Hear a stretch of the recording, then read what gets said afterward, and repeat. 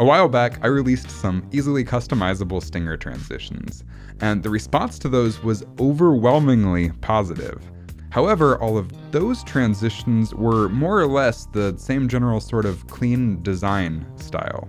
So this week, I decided I wanted to release some cool sci-fi themed Stinger transitions for y'all to play with. They're still just as easily customizable, and they look something like this.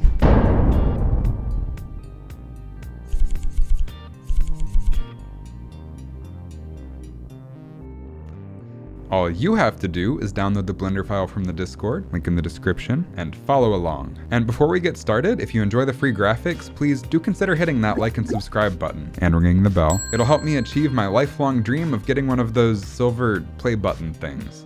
But more importantly, it'll let you know when there's new content. That being said, let's get started. My name is Chris Folea. I'm your stream scholar. Welcome to Stream School.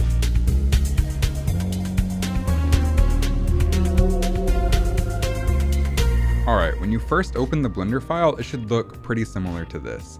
And the very first thing you're going to want to do is come up here and hit the shiny circle button. That'll put this viewport into rendered preview mode so you can see what your stinger looks like as you're working on it. Then you'll immediately notice up here on the right, we have a few different collections for different stingers. Uh, but we're going to start with Stinger 1 because there's a lot of stuff to customize here. So if you go ahead and move your mouse over the 3D viewport and then hit space, that'll play so you can see what this looks like animated. And you'll notice that the door slams down, the logo rotates, and then it sort of zooms back up. And obviously, you probably don't want this to say your logo here. So let's go ahead and swap out the logo for your logo. So if you come over here where it says your logo and you click it, then we come down to the materials panel. You'll notice under base color, there is the your logo here image. And if you hit the X, that'll get rid of the logo. Then if you hit open, you can replace it with your own logo. And I'm gonna personally use my Oracle Fish logo. And you can adjust the sizing and position of this because I realize not everybody's logo is gonna be a perfect circle or a perfect square. So if you click on the logo, you can then drag it around or you can grab the rotation widget and you can rotate it or you can grab the scale widget and you can scale it up and down. And you'll notice that I also included some grunge in here to make it look sort of like uh, chipped or peeling paint, just to add to the overall sci-fi grungy aesthetic. And you can adjust that as well. So if you grab this diagonal looking box right here, just click it, then you can grab the movement widget and you can move it around to adjust the positioning of the grunge. Or you can scale it up to adjust the scaling of the grunge on any axis really. Or you can grab the rotation and you can rotate the grunge. So you have a lot of control there. Make it fit your logo so that the grunginess isn't obstructing anything. Or if you just scale it up really big, you can make it look like there's no grunge there at all if you prefer that as well. Then for the next option, I realize not everybody has a perfect circle for a logo. So let's say for instance, I'm using my Stream School logo instead of the fish logo. I'm gonna go ahead and replace that. You'll notice it doesn't fit super perfectly. So I might select it and scale it down to fit in there. But what if you don't want a black backdrop for your logo? What if you want that to be customized to your color scheme? If you click on your logo backdrop, go to the materials panel and select the color, you can now adjust that. So let's say I want this to be sort of like a nice dark purple or pinkish purple. I think that looks pretty cool. Then, moving right down the line, we have our stripe color, and that adjusts these diagonal stripes right here. And also right here, but we'll get to that in just a minute as to why those even exist. So if we select the stripe color and change the color in the materials panel, maybe to a nice purple. We can even just grab the picker and try to match the purple right here, but maybe make it a little bit brighter. Just know that you have these controls available to you. I think that looks pretty cool. Next, we have our LED color, and that adjusts the LEDs right here. And if we hit space to play again, you'll notice that those only come in when the door slams down, but you'll also notice that it still retains the tint of whatever you choose as well. So I probably want these to be a nice pink to match the Stream School logo. So I'm gonna go to the LED color, go down to the materials panel, select color, and change this to a nice pink. Maybe make it even a little bit slightly desaturated. Then you can also adjust the strength of this. So if I want to make it really bright and glowy, I have that control. Um, go for it, I guess. I'm to leave mine right around 20 personally.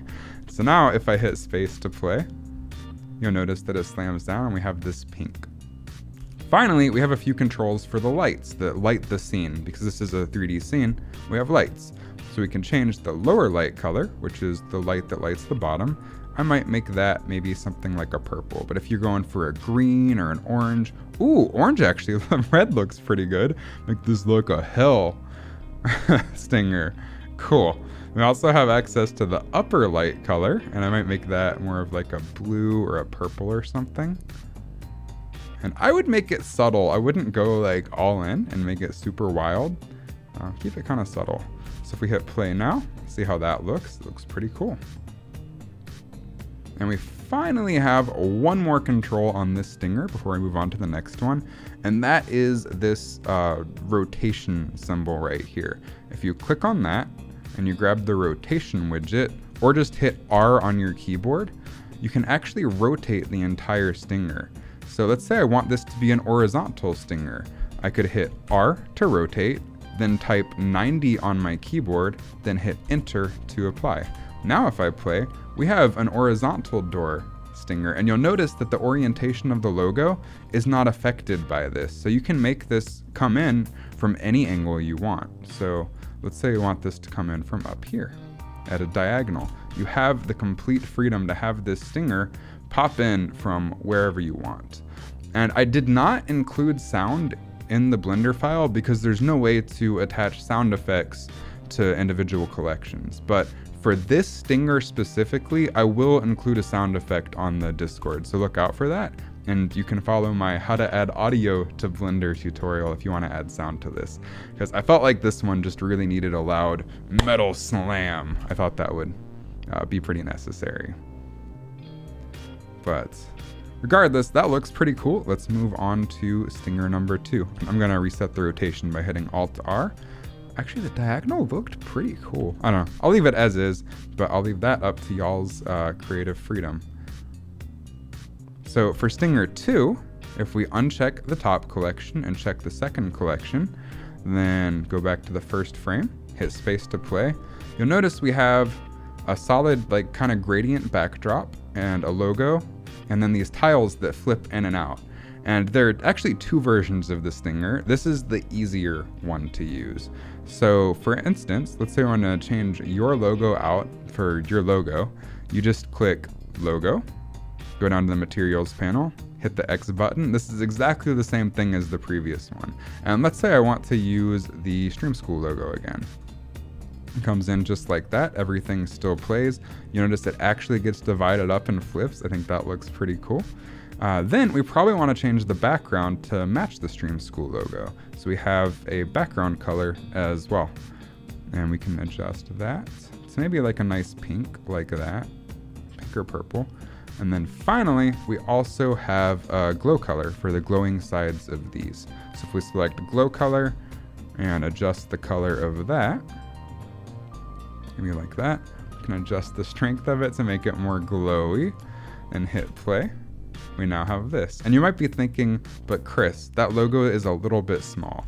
And you can adjust that, it's just a little bit tricky. So if we select the logo and go to the materials panel and scroll around with the mouse wheel until we find it, there's a specific node here um, at the upper left hand. And if you adjust this, it's called a mapping node. If you adjust this, you can offset the position of your logo. You can offset the scale of your logo. So I'm gonna change this to 0.5, 0.5, 0.5 because lower values are bigger.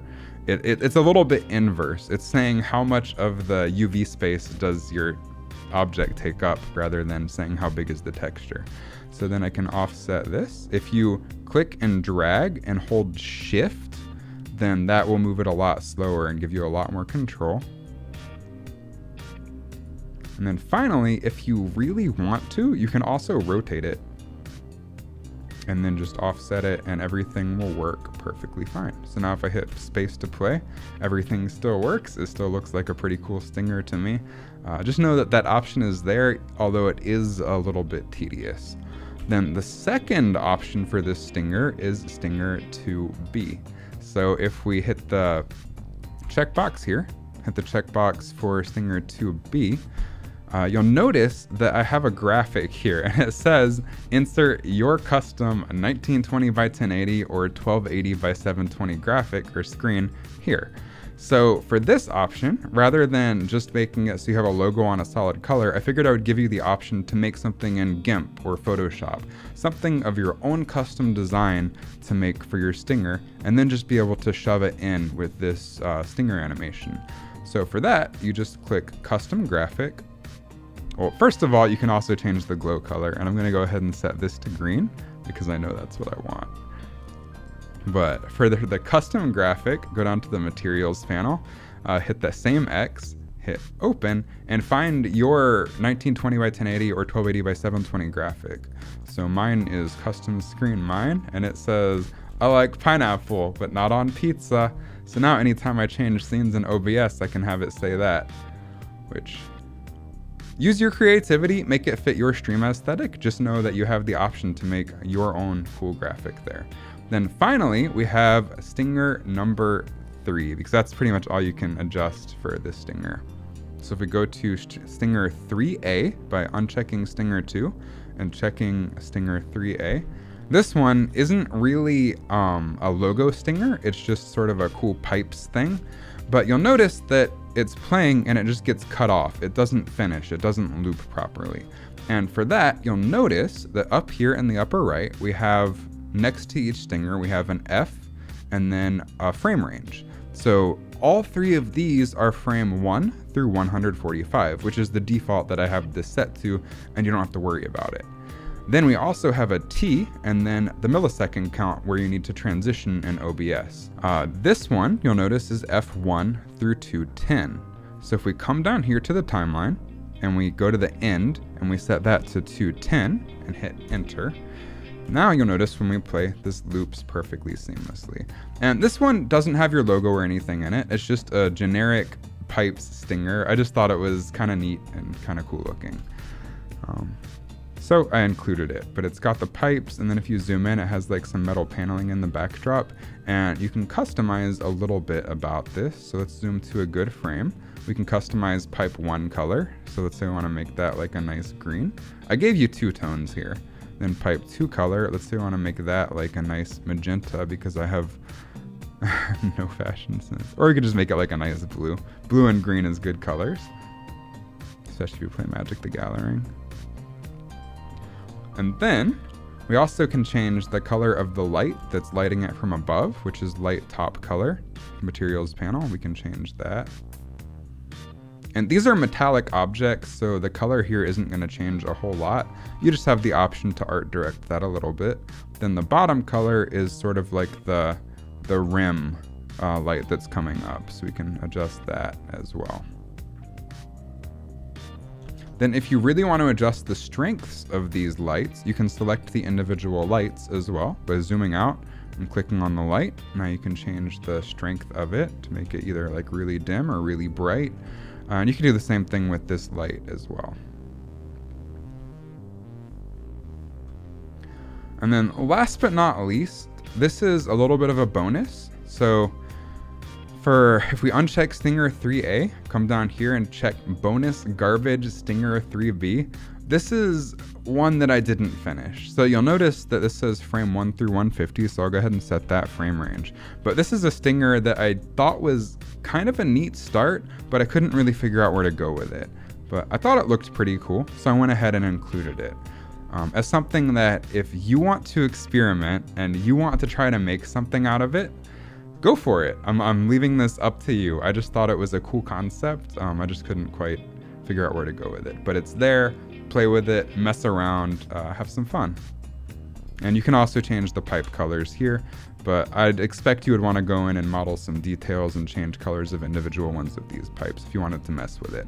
So the final step to all of this is going to be to export your Stinger. You probably want it in a nice transparent WebM file to use for your stream. So let's say I decide I want to go with Stinger 3 2B because I like pineapple. I'm gonna use this one. What we might want to do is export this as a transparent WebM. And to do that, you just go to the camera icon right here. Sorry, printer icon, my bad. Uh, and you'll notice I've already put in all of the proper codec options here. It's a transparent WebM file with the Vorbis audio codec if you included any of your own sound effects. And then all you have to do is change the output. So I'm gonna go to folder. I'm gonna put this on my editing drive under Stream School and I'll just call this Pineapple Stinger. Hit enter, hit enter again to accept, and then all you have to do is go to render, render animation, and Blender will render this out to the best of its ability, which uh, should work pretty well if you have a halfway decent computer with a graphics card in it. Uh, but once this is done rendering through all of this, that WebM file will be wherever you specified. Yeah, that WebM file will be wherever you specified in the folder right here. So then over in OBS, all you have to do to incorporate your Stinger is go to Scene Transitions, hit the plus, and go to Stinger. We're gonna call this one Pineapple. Hell good. Hit OK. Uh, then find your video file. I'm going to browse for mine. It's under Editing Drive and Stream School. Then I grab Pineapple Stinger. And you'll notice if I preview transition, that it's not going to the right point in time. And that's because we haven't set the transition point. So if we go back to the Blender file, you'll notice that I tell you which transition point to use. So for instance, Stinger 2B, uh, f1 to 145 for the frame range, and then transition at 1000 milliseconds. So if I go back to OBS and we set the transition point to 1000 milliseconds, then we hit preview transition. Now we get a perfectly good stinger transition. Hit OK.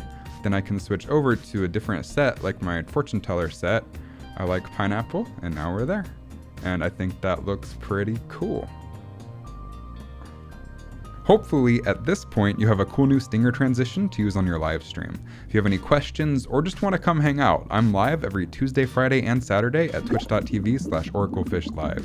And if you found this video helpful, make sure you hit that like and subscribe button below the video for new content every single week.